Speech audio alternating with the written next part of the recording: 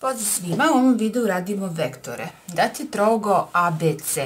Ako je tačka M središte stranice AC i tačka N središte stranice CB, dokazati da je MN jednako jedna polovina AB. Dakle, nacrtat ćemo jedan proizvoljan trougo, dakle crtamo skicu, crtat ću slobodno rukom i obelažimo temena, dakle ABC imamo da je tačka M središte stranice AC. Dakle, ovdje će biti tačka M, tako da je AM jednako MC. I imamo da je tačka N središte stranice CB, dakle, ovdje će biti N i imamo da je CN jednako NB. Dokazati da je MN, dakle, nacrtat ćemo MN, jednako jedna polovina AB. Dakle, imamo da je vektor MN jedna polovina vektora AB i to trebamo dokazati. Dakle, ovo ćemo uraditi uz pomoć sabiranja vektora, odnosno metoda nadovezivanja. Dakle, da se podsjetimo samo da kad imamo recimo jedan vektor, neka bude A, i njemu dodamo neki vektor B, Zbir vektora A i B će biti, dakle krenemo od početka vektora A pa do kraja B. Dakle, ovaj vektor ovdje je njihov zbir. Dakle, kao da je ovo neki zaobilazni put, a njihov zbir kao prečica do tog istog cilja. Tako da vidimo kako možemo dobiti MN. Dakle, krećemo od početka ovdje, dakle ne od vrha nego od početka ove strelice, dakle imamo MC, Ajmo zapisat ćemo prvo MN je jednako, dakle MC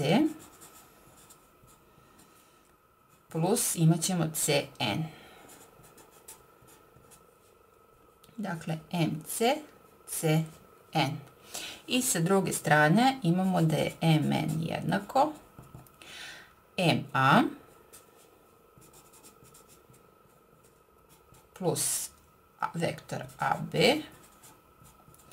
i plus BN.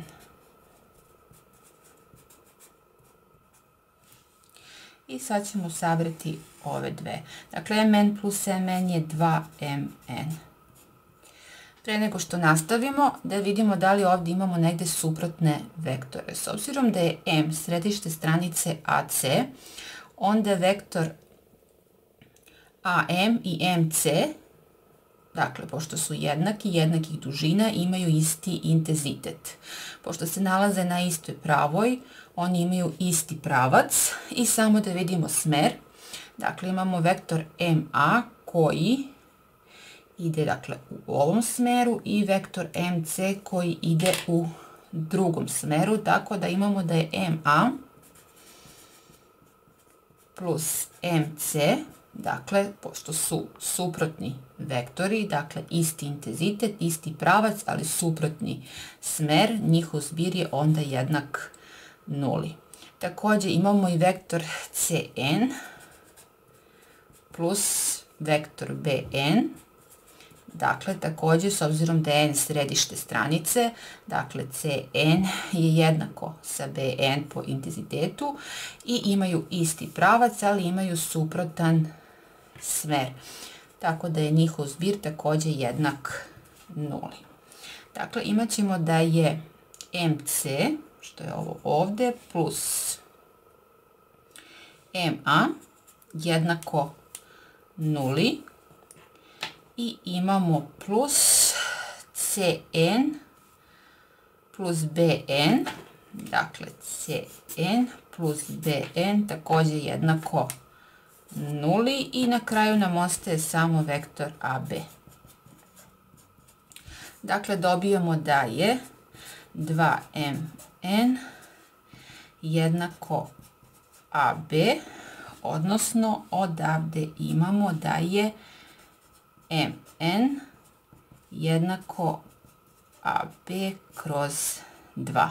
čime smo dokazali, odnosno ovo drugačije možemo zapisati kao mn je u stvari jednako jedna polovina vektora AB i time smo dokazali tvrđenje iz zadatka. To je to. Pozdrav!